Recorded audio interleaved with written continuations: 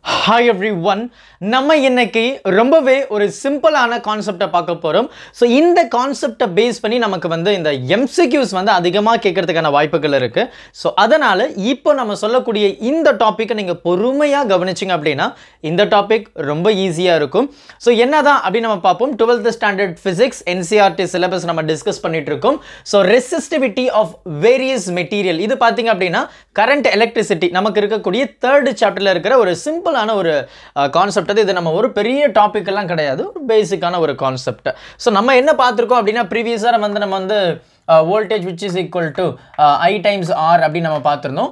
இந்த ரெசிஸ்டன்ஸ் பார்த்தீங்க அப்படின்னா அதனுடைய மெட்டீரியலை மட்டும் டிபெண்ட் பண்ணி இல்லாமல் அதனுடைய டைமென்ஷன் அதாவது அதனுடைய சைஸையும் டிபெண்ட் பண்ணி இருக்கும் அப்படின்றத நம்ம ரொம்ப தெளிவாக டீட்டெயில்டாக பேசியிருக்கோம். இல்லையா? ஸோ இப்போது அந்த மெட்டீரியலை பற்றி நம்ம இப்போ டிஸ்கஸ் பண்ண போகிறோம் அப்போது இந்த ரெசிஸ்டன்ஸ் வந்து அந்த மெட்டீரியல் அந்த resistivity right I can also say that R equal to rho அப்படின்னு சொல்லலாம். எப்போ? When I have length equal to one metre and area வந்து ஒன் மீட்டர் ஸ்கொயராக இருந்தது அப்படின்னா இது இது ஒன் ஆகிடும் so resistance equal to resistivity அப்போது இந்த ரெசிஸ்டிவிட்டி அந்த ஒவ்வொரு மெட்டீரியலுக்கும் அதனுடைய ரெசிஸ்டிவிட்டி எப்படி இருக்கும்? ஒவ்வொரு மெட்டீரியல் அப்படின்னா என்ன?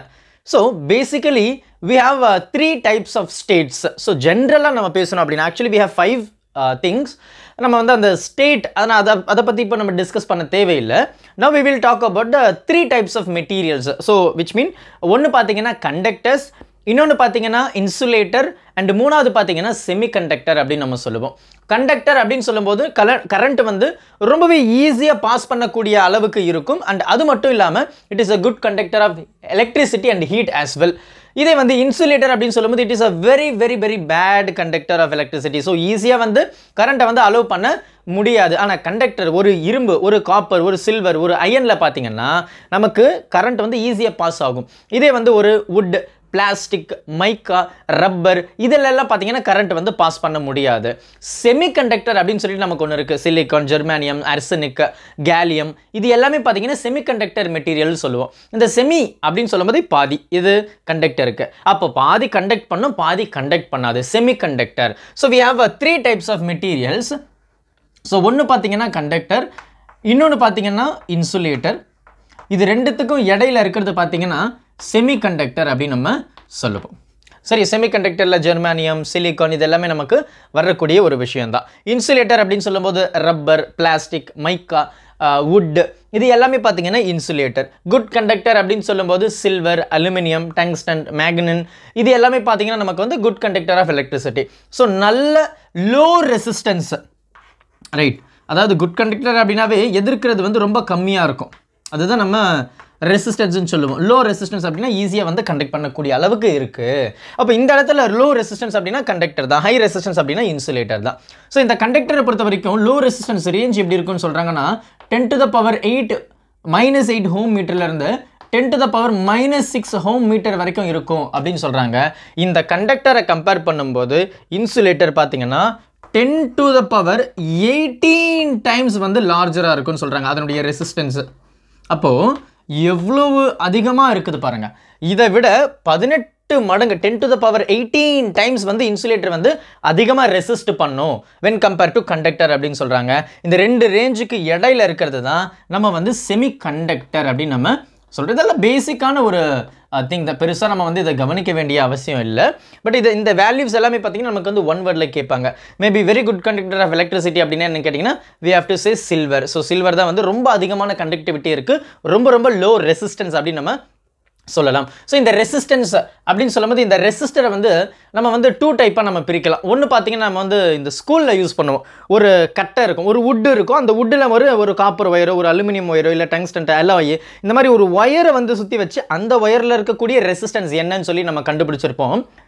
இந்த ரேஞ்ச் பார்த்தீங்கன்னா ரொம்ப கம்மியான ரேஞ்ச் ரொம்ப லோ ரெசிஸ்டன்ஸ் இருக்கக்கூடிய ஒரு திங் தான் இது.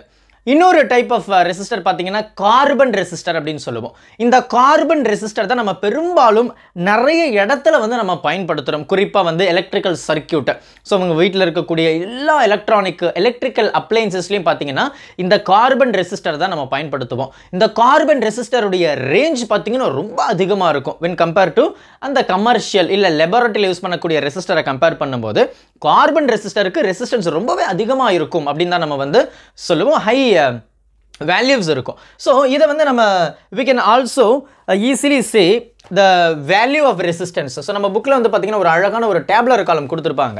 ஸோ கார்பன் ரெசிஸ்டர் அப்படின்னு சொல்லும்போது அந்த ரெசிஸ்டர் வந்து will have different colours so different different colours வந்து நமக்கு வந்து இருக்கும்.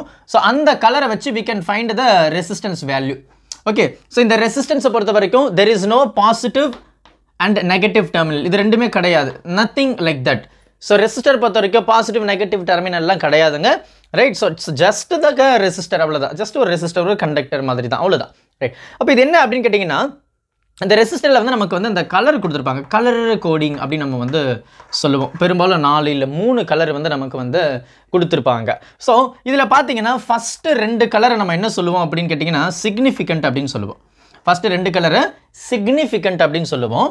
மூணாவது கலர் பார்த்தீங்கன்னா மல்டிப்ளையர் அப்படின்னு சொல்லுவோம். Multiplier I will say what it is and இது பார்த்தீங்கன்னா டாலரன்ஸ்னு சொல்லுவாங்க.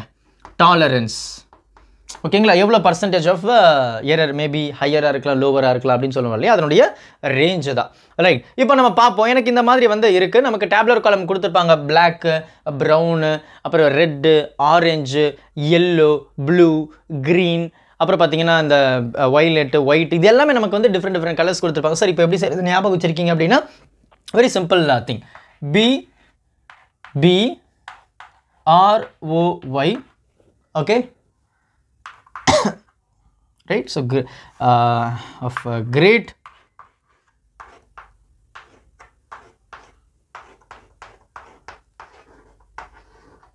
okay so இதுதான் நமக்கு வந்து கொடுத்துருப்பாங்க. பி பி ஸோ இது வந்து black brown red orange yellow green blue violet white gold silver அப்புறம் நோ கலர் அப்படின்னு சொல்லி கொடுத்துருப்பாங்க. ஸோ இதை நீங்கள் எப்படி ஞாபகம் வச்சுருக்கணும் அப்படின்னா ரொம்ப சிம்பிளான திங் தான். நல்லா பார்த்தீங்க அப்படின்னா தெரியும். B B Roy of Great Britain had very very good wife சரிங்களா? Very good of Great Britain had very good wife with gold and silver சரிங்களா? ஸோ இதுதான் வந்து நம்ம கலர் ரேஞ்சை நம்ம வந்து பயன்படுத்துவோம். ஸோ இந்த இடத்துல பார்த்தீங்கன்னா இதை வந்து நம்ம ஜீரோன்னு சொல்லுவோம். இது one two three four five six seven eight nine அப்படின்ற மாதிரி we will give the number அடுத்து பார்த்தீங்கன்னா நம்ம மல்டிப்ளையர் அப்படின்னு சொல்லும்போது ten to the power zero ten to the power one ten to the power two ten to the power three ten to the power four ten to the power five அப்படின்னு நம்ம சொல்லுவோம்.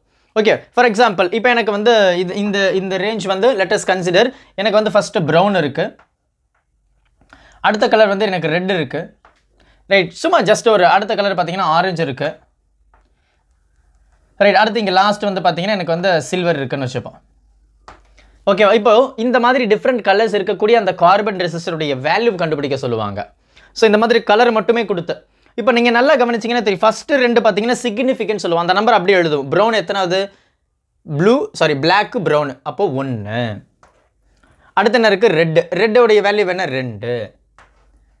மூணாவது value நம்ம என்ன சொல்லியிருக்கோம்? Multiplier அப்போது multiply by என்ன colour அது? ஆரஞ்சு அப்போது ஜீரோ ஒன்று டூ த்ரீ ஆரஞ்சு பார்த்தீங்கன்னா த்ரீ இருக்குது அப்போ ten to the power three அவ்வளோதான் சிம்பிளாக முடிஞ்சது பாருங்கள் அடுத்து நாலாவது கலர் பார்த்தீங்கன்னா சில்வர் கொடுத்துருக்காங்க. சில்வர் இதுதான் சில்வர் ஸோ இது வந்து நம்ம ten to the power minus one ten to the power plus one அப்படின்னு நம்ம சொல்லுவோம். இன் கேஸ் அது வந்து மல்டிப்ளேயரில் இருந்தால் டாலரன்ஸில் இருந்ததுன்னா ten to the power or we can also say the ten percentage இல்லை வந்து டுவெண்ட்டி பர்சன்டேஜ் சொல்லுவோம் டாலரன்ஸில் அப்போது எனக்கு என்ன ஆகிடும் அப்படின்னா எனக்கு ப்ளஸ் ஆர் மைனஸ் சில்வர் இல்லையா?